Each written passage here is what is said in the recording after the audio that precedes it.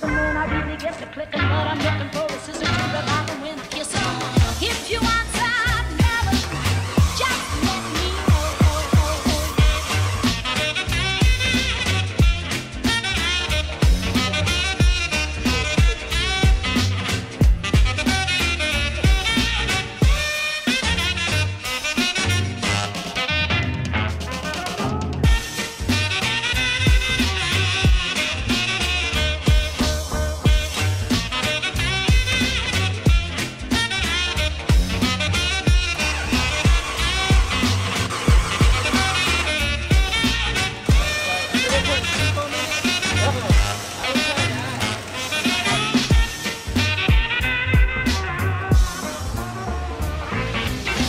Literally the coolest thing I've seen in a long time.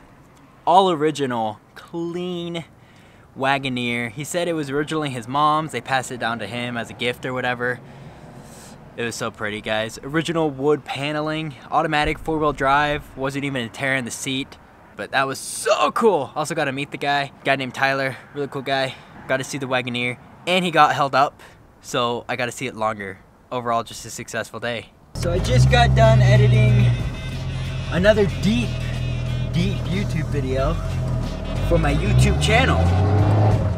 Basically, I want to get out into a forest and just kind of try to get my focus back, try to get back into a good mental state. Well, closest forest in this vicinity that looks very promising is the Lincoln National Forest in New Mexico. The only problem, even though it's only five hours away from Midland, I still gotta have the Jeep ready. And the Jeep's been having issues. Took apart the whole wiring thing, I cut wires, spliced them, swapped them around, and honestly, I think I fixed the Jeep. If I needed to get some stuff done, I uploaded that video. The plan now, I'm going to go to a junkyard, that one that had all the Jeeps in it, the really, really cool one.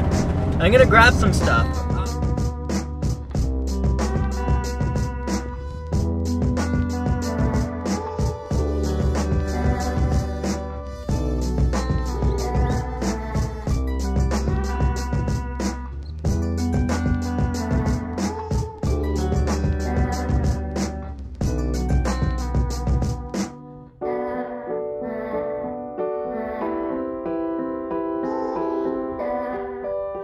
Back at the YJ Junkyard where Jeeps go to die. I had a lot of people reach out to me when I showed this and they were like, how a junkyard that has Jeeps in it, what the heck? And I was like, I know, it's it's mind-boggling to me too.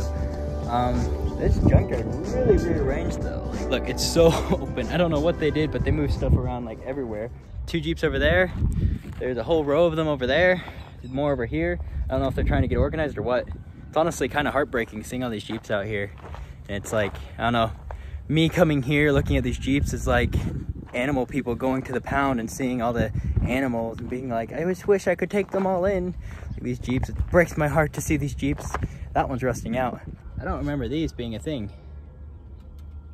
Do I need these? Has anyone else ever seen these?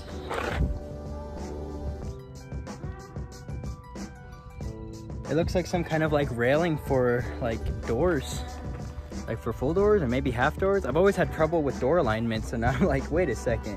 What if I've been doing it wrong the whole time? What if that's what I've been missing? Oh.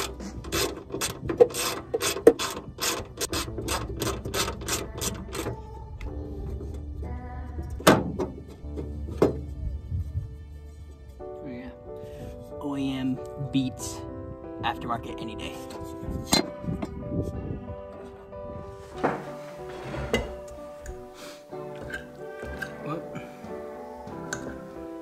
Got the parts I needed.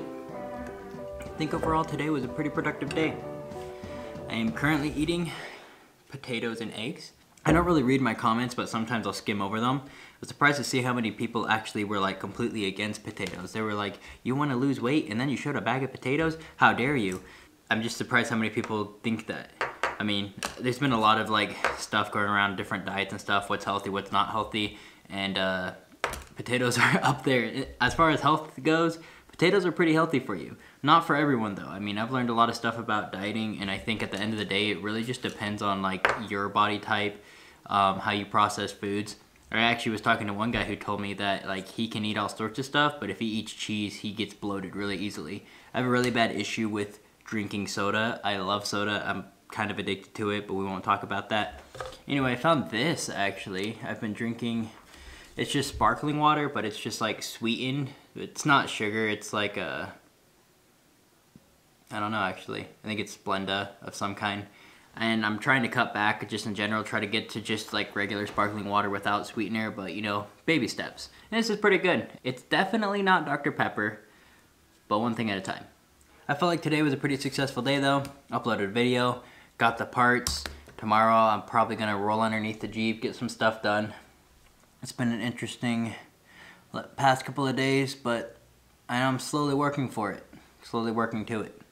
I haven't been very good about being very enthusiastic about creating these videos and stuff. I haven't been very I don't know, like excited about it. I guess I feel like it's more like a chore at this point, where which is weird because like I used to be like enthusiastic. I used to get like really excited that I was gonna make a video every day, and lately it's just been have just been having trouble. Like um, it, I've just been having a lot of trouble like actually finding the excitement in doing this. I guess so.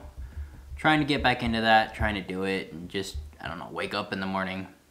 I'm gonna eat my potatoes and eggs, which is healthy promise they're healthy. Potatoes and eggs, protein and vitamins,